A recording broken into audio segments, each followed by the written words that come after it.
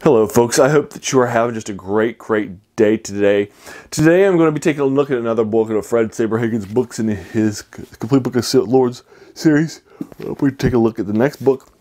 Um, and this book I just finished yesterday, Coin Spinner's story. Um, and it was a lot of fun. I really enjoyed it. Um, I read it pretty quickly.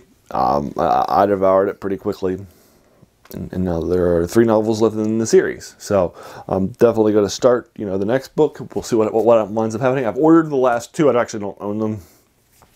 Uh, so, so I ordered them a couple weeks ago. Hopefully I'll get them in time uh, to knock them out uh, after I knock out book, the last the last book, uh, uh, the third final book. But we're going to take a look at Coin Spinner's story for you. Now, once again, um, Fred Saberhagen is a, this is a very influential person.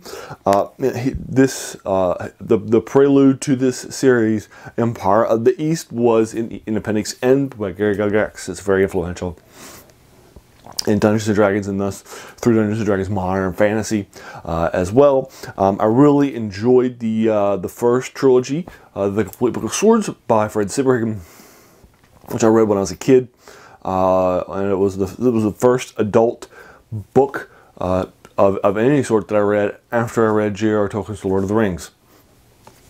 Um, and I really devoured it, and I loved it. It was really influential on me, and I've read it multiple times since then.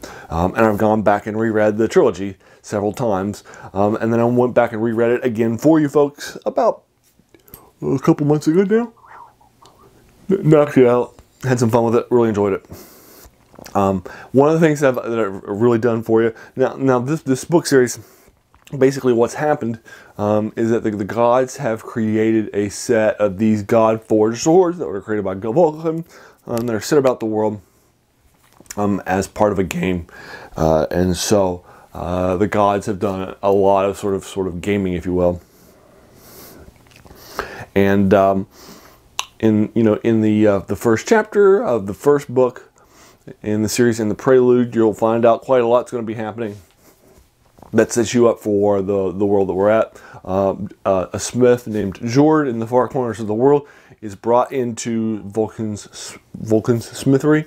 Um, he'll forge uh, the swords along with Vulcan. He Vulcan will slake uh, the uh, the boards, the swords in the humans in human blood. Jord's the only one that will survive. He has an arm chopped off he's given Town Saver as payment, um, uh, which he's supposed to have and give to his uh, kin. That's one of the 12 swords. And um, so he does. He has uh, his eldest born sword, will wield the sword, defending the town. a few years later, in chapter 1 of the first book, um, he will. There's a huge attack that happens in the town. It's very well funded, um, and Town Saver actually kills every single person and beast that's attacking the town. Um, and does so quite ably. But unfortunately, what winds up happening is, is that it doesn't defend the person who's using it, so the person who uses it dies, uh, and uh, while defending the town and, and saving it. Um, the younger brother, Mark, seeing this, takes the sword and runs away with Town Saver, and uh, the second and, and, and the other born son of Jord uh, and his wife. So he will will will head out, and he will adventure. He'll run and, and, run away and flee. Um, um, and so he's now fleeing with, with Town Saver.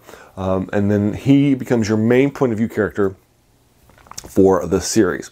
Um, and, and he's still one of our major point of view characters in the sequel series.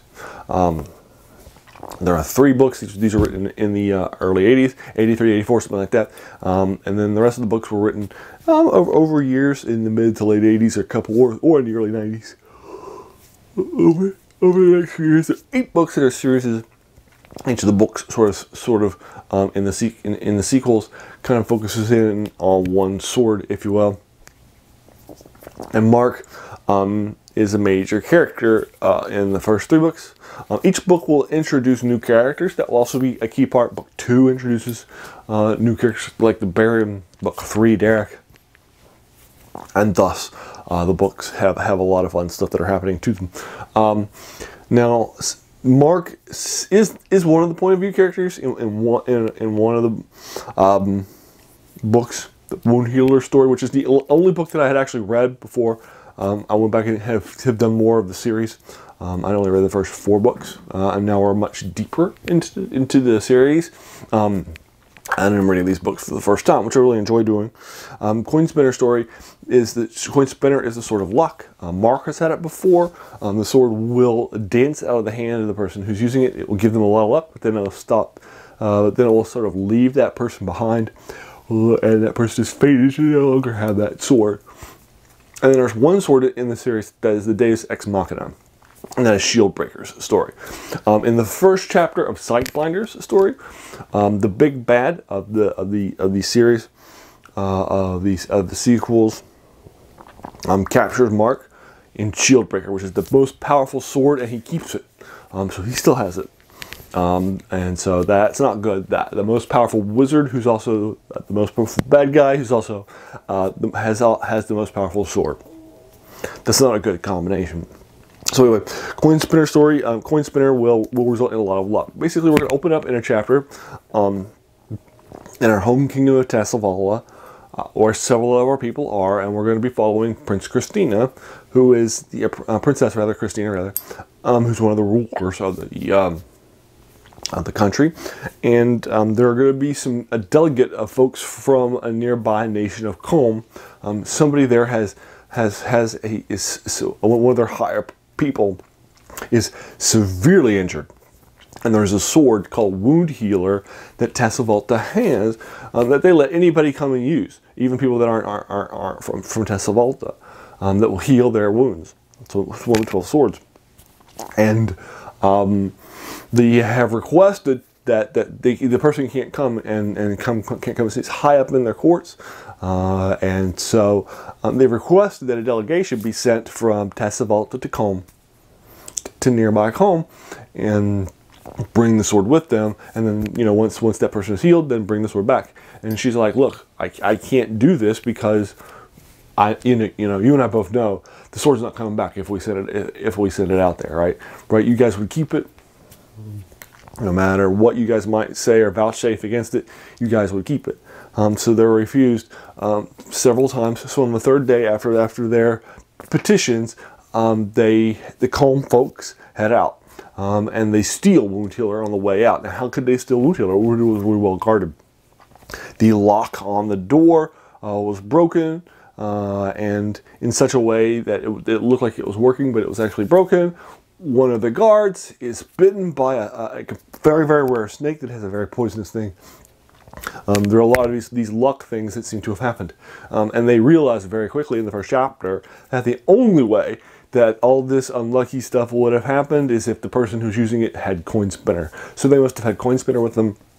And Coin Spinner got them uh, got, got them into to Wound Healer, and then they, then they escaped with Wound Healer. So um, the Tassel will set out to go chase down our, our folks.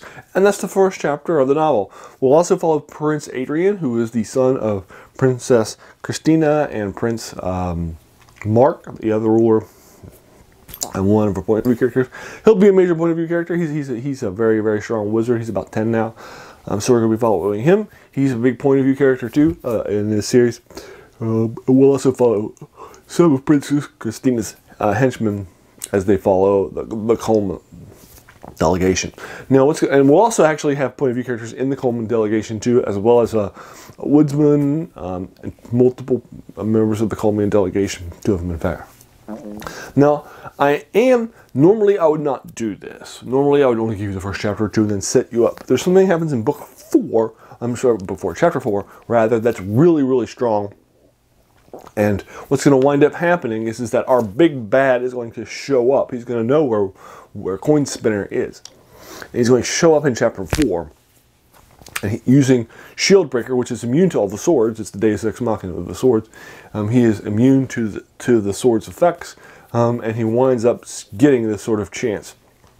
And now he has two swords, the, the Deus Ex Machina and the Luck Sword. And you see how, how powerful the Luck Sword actually is.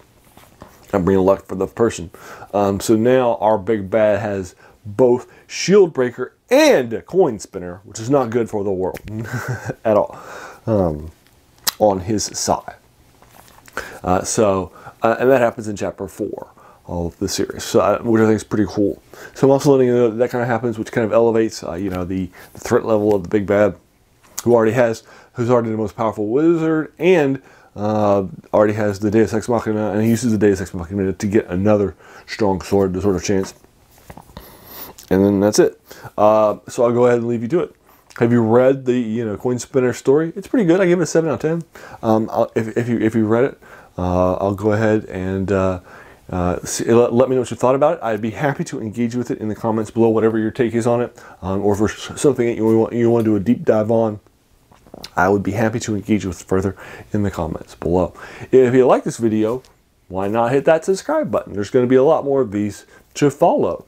And then finally, hey, I just want to thank you for taking some time out of your day and watching my video. We have so many things that are happening in our lives, right? And we're being pulled in so many different directions. So the fact that you spent this time with me is incredibly humbling, and I appreciate it. So thanks again, and have a great day.